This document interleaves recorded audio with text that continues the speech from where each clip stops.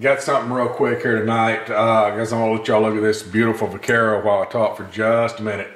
Now, as you probably already know, guys, a storm that hit the East Coast uh, pretty much pushed itself on through. I think the worst is pretty much over.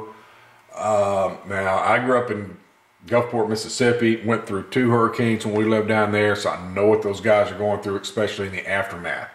We got a lot of friends that are in the, that are on YouTube with us, that are in the gun community that live through that area. Uh, like I know uh, Pete lives in the Philadelphia area, and I've heard through Bill that he's okay. Uh, I think his internet's down. I think he's still got power, but his internet's down.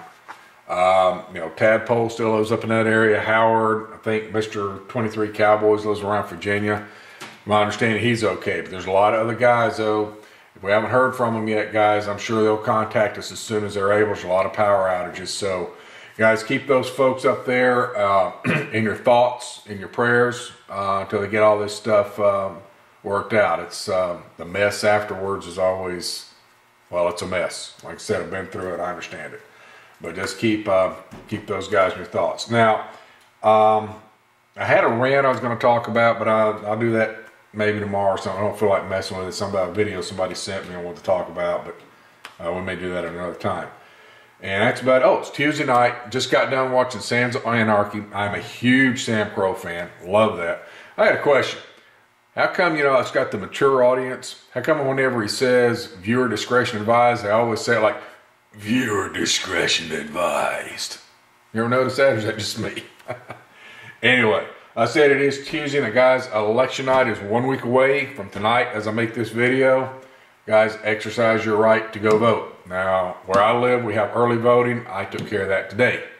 And I am very proud to say I voted for the one man who has a chance to beat Barack Obama.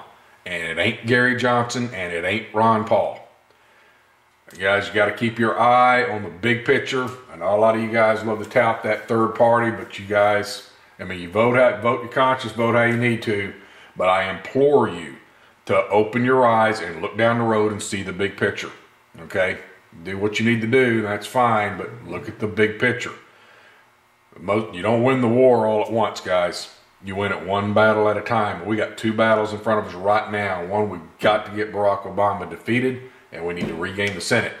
Those two first. Because if we don't do that, there may not be nothing for us to fight for next time. Think I'm kidding? Whatever.